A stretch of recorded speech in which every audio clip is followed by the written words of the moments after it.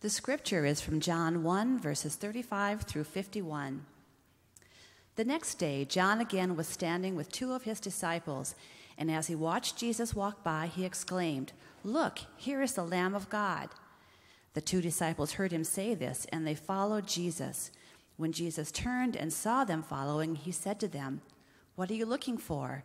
They said to him, Rabbi, which translated means teacher, where are you staying?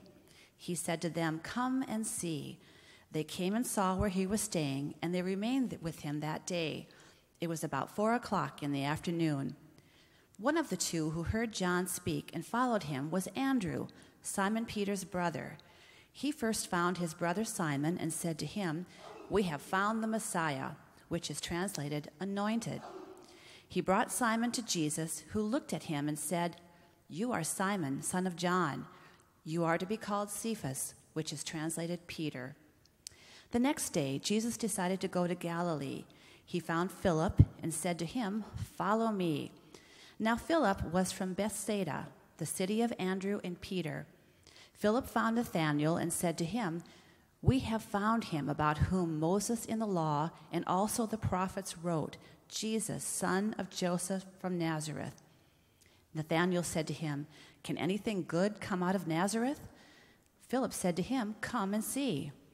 When Jesus saw Nathanael coming toward him, he said of him, Here is truly an Israelite in whom there is no deceit. Nathanael asked him, Where did you get to know me?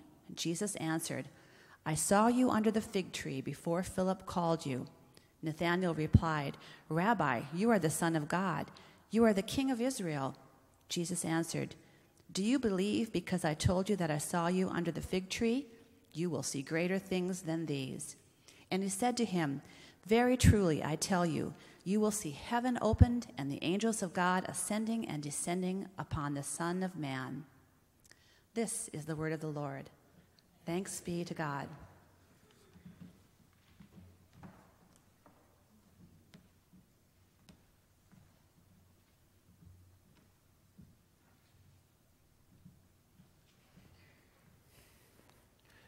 As we said, uh, we are sharing in the uh, journey of the Gospel of John, and we are handing these out today along with a breakthrough prayer. We would invite you to pray at 6:29 a.m. and 6:29 p.m. as a way uh, to continue in your spiritual growth, because we know summer is kind of a, a, more relaxed time, and so we hope that you will uh, read the first two chapters this week, and then uh, two chapters each week until uh, it probably go through the middle of August. And it's a good uh, practice for us to, to, to follow through this uh, wonderful book, uh, one of the four Gospels of Jesus. And uh, so hopefully you'll take that with you and, pick, and take them with you and read them this week and also just continue to share in that breakthrough prayer each day.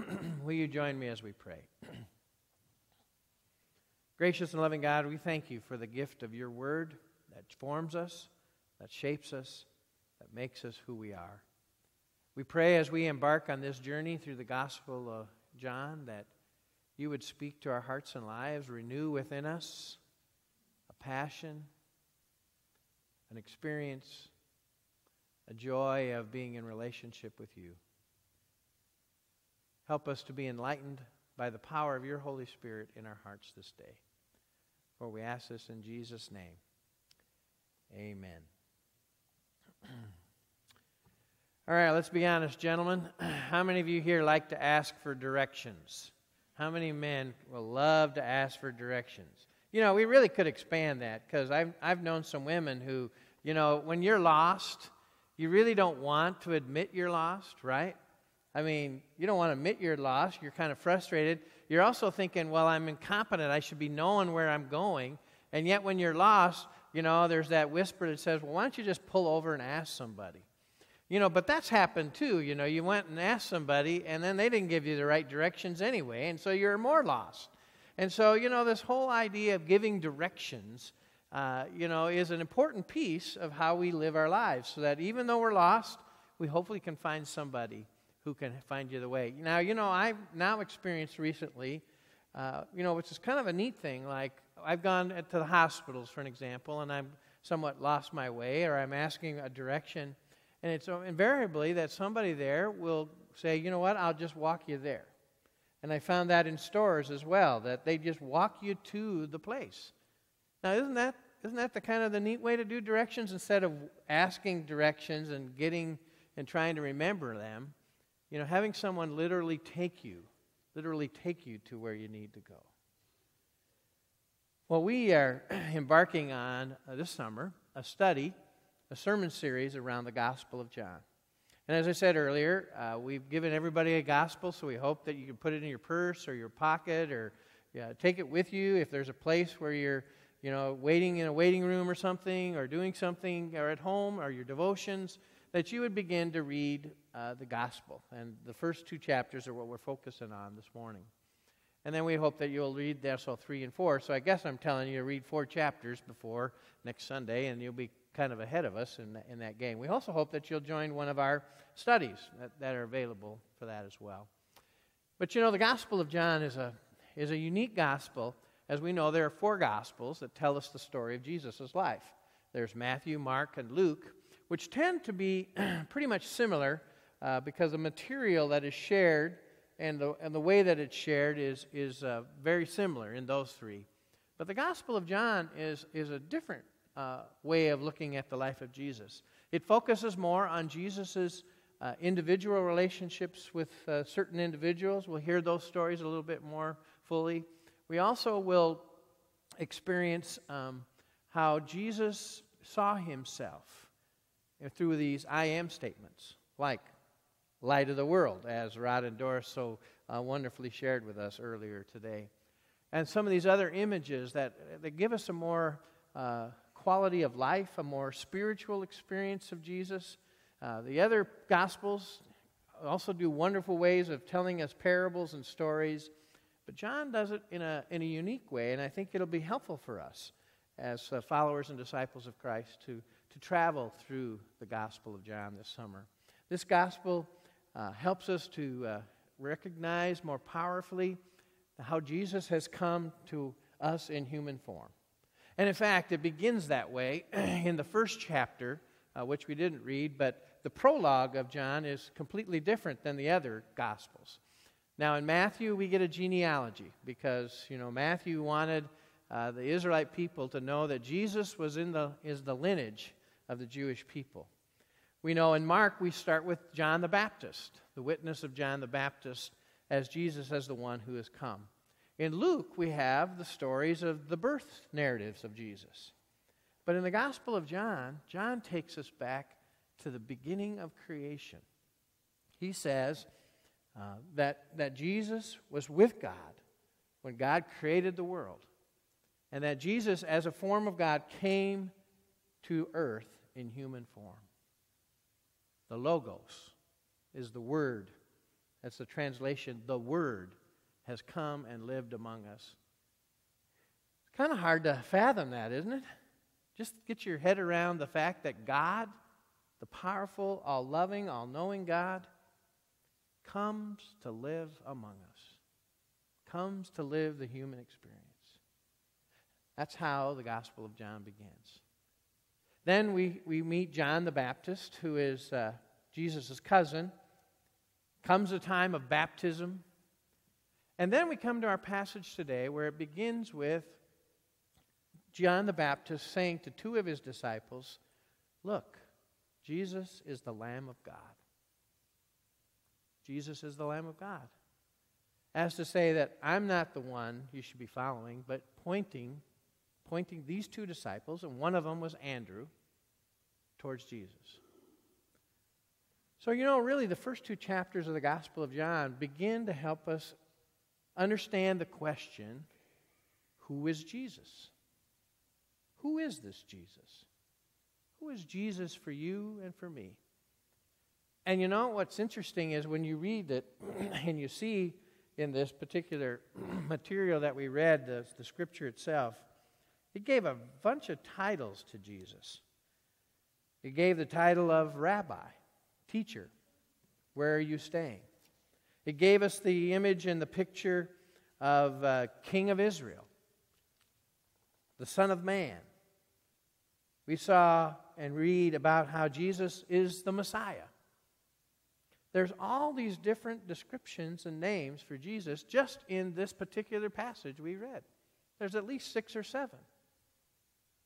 It's because each of us in our own lives, much like the disciples, have our own individual experience of Jesus.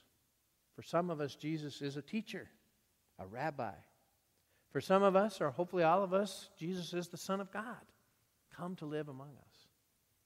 For some of us, God is, or Jesus is a Savior, the Messiah who's come to save us in our lives. Each of us has our own individual experience of how Jesus comes into our hearts and lives. Much like what we see with Andrew and Philip and Peter, and uh, as we read Nathanael as well. It's interesting that who is Jesus is the place where we all should begin in our own lives, reminding us ourselves of that question who is Jesus for me? How do I understand Jesus? How do I experience Jesus in my heart and life? Do I see Jesus as a teacher, as my friend? Do I see my Jesus as the one who has saved my life? We each come to that identity of answering that question, who is Jesus, much like we read today. It's interesting also that in this passage it talks about how when John the Baptist said to Andrew, There goes the Lamb of God, and then so Andrew and his friend go to speak to Jesus. And then after they speak with Jesus, they go, Andrew immediately goes to his brother Peter and says, Peter, come and see. I've met the one. He's the one. He's the one of God who has been promised for so many years. He's here. And so then Peter comes over. And then we see Jesus calls Philip. And then Philip talks to Nathanael. Do you see a pattern here? The pattern is we're inviting people to come and see and meet Jesus. That is our journey as Christian people. Not only to answer the question, well, who is Jesus for me? But then we take the next step and, and invite others to come on the journey with us. Come with us to journey to see Jesus. Come and see. Come and see. And you notice there, there, it seems to me through this scripture that they're excited about that. It wasn't this, well, you know, we, we've met this person. Would you, would you like to just come along, maybe? No, it's, there's a sense of urgency and energy about inviting others to come and see Jesus. Come and meet Jesus. I mean, we notice Nathanael says, well, who is, you know, anything good come from Nazareth? You know, he wasn't too sure. You know, he liked, he trusted Philip, but he wasn't sure Philip was right about this particular Jesus. And, and so he, he even says, anything good comes from Nazareth, come and see, come and see. And so when he meets Jesus, Jesus said, I see a man who has got spiritual depth in his life. How did you know that? How did you know that? You are the Son of God. You are the King of Israel. He says it immediately. Come and see. Come and see. She was an elderly woman in the community that would come to their church every once in a while, and she was filled with the Spirit. And the church normally was a very staid church. You know, they didn't want to uh, have too much enthusiasm in their worship. And this woman uh, would come and she would, while the preacher would be preaching, she would say amen and hallelujah and raise her hands. And, you know, everybody would kind of look at her like, oh, come on, you know, why are you ruining our worship service with all this activity? And so the elders got together and thought, you know what? We need to help her kind of know that we really, you know, it's kind of unnerving for us when you do that. And so she uh, came to the door, and the elders came to her and said, you know what? We want to give you some presents. We want to give you some blankets for the winter because uh, we know you would need them. And so if you take these blankets, then, you know, in the worship service, try not to, you know, get too excited, okay? And she said, oh, yeah, because she really needed the blankets. And so she took the blankets and she sat in the worship service in the front row. And the preacher that day was really preaching a, a great sermon. And she you could tell she was holding it in because, you know, she really wanted to keep these blankets and finally, at, it got to a point where she just couldn't stand it anymore, and she stood up and she said, Blankets or no blankets, amen, preacher. Blankets or no blankets, amen, preacher. You know, sometimes I think we lose the enthusiasm of the power of Jesus that lives in our lives. We somewhat take it for granted, I think. Who is Jesus for you? Who is Jesus in our lives? Think about those moments when somebody invited you to come and see. Was it a Sunday school teacher? Was it your grandparents? Was it a pastor? Think through your mind. Who was the one that said, Come, come and see Jesus? Because that's a critical part of what does it mean to be a disciple of Christ. And to do that with a sense of enthusiasm and a richness of knowing deep in our hearts that we have experienced the power of Jesus in our lives. Lastly, Jesus says in this passage, You thought you just saw something special now? Wait and see. Wait and see. And so those disciples that day followed Jesus for the next three years. They followed and, and learned from him about what does it mean and to experience the richness of God's love in their lives. It really moved from a moment of just having a conversation about Jesus to really telling the story of Jesus, having that conversation with other folks. That's what it means to be a disciple of Christ, friends. It's not something that's just private for us alone. We are to invite others to come and see. We're to invite others to come and see Jesus. And then on that journey, also make ourselves grow deeper and more uh, filled with the Holy Spirit of God and Jesus Christ. Because when we answer the question, who is Jesus for us? We all have a story. We all have a moment that we can say, well, Jesus is my friend because of this. Or Jesus is my Savior because of this experience that happened to me. Jesus is the one I love who loves me. Just as we sang earlier, Jesus loves me, this I know. And we share that story in a very, very non threatening way because it's our experience. It's our experience of encountering the living God, the one who has come to be the Word of God in human flesh. Jesus is the best picture we have of God. And, and so our journey this summer is to, to deepen our walk with Jesus, to hear how he speaks to the woman at the well, how he speaks to Nicodemus, the Jewish leader, how he speaks to the woman caught in adultery. All of these stories are the stories that help us encounter Jesus in our lives and remind us of those places where we have encountered Jesus in our lives. Tony Campolo tells a story about Miss Thompson. Miss Thompson is a fifth grade school teacher, and little Teddy had been in that elementary school for a while. He'd come from a pretty dysfunctional situation. It was never very good, and you know, the word spread, you know how it is. Sometimes a child's kind of designated and comes through each class, and he didn't do very well, and, and they kept kind of passing him on. In the third grade, Teddy's mother died. And after that, his dad didn't really care about his schoolwork. And, and so when he came to fifth grade, Miss Thompson kind of bought into that. And, and uh, she, was, she said, you know, she just didn't really like Teddy, even though she tried to love all the children. She, she felt kind of good giving him an F every once in a while and, until Christmas came. And at Christmas, Teddy, you know, all the kids brought Christmas presents to the teacher, and Teddy brought a present that was kind of wrapped, not really great, but it was wrapped. And so when she opened it up, uh, there was some kind of a small little bottle of cheap perfume and a, a bracelet that was missing some of the, the jewelry beads, but it was a, a bracelet. And I think Miss Thompson all of a sudden realized this is his mom's. And he gave it to me. And at first, the class kind of looked at it like, wow.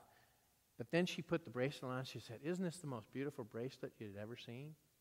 And oh, Teddy, thank you so much for this perfume. I, I will wear it every day. And you could see Teddy move from kind of this downcast to this really feeling good about himself. And the rest of the class kind of ooh and ahhed when she made a big deal out of it. Well, that was a moment of change for not only Teddy, but also for Miss Thompson. And from that moment on, she poured herself into Teddy, and his grades got better. Uh, he got, later on, graduated from high school, number two in his class. Uh, later on, he graduated uh, valedictorian of his, of his class in college, and he went on to be a medical doctor.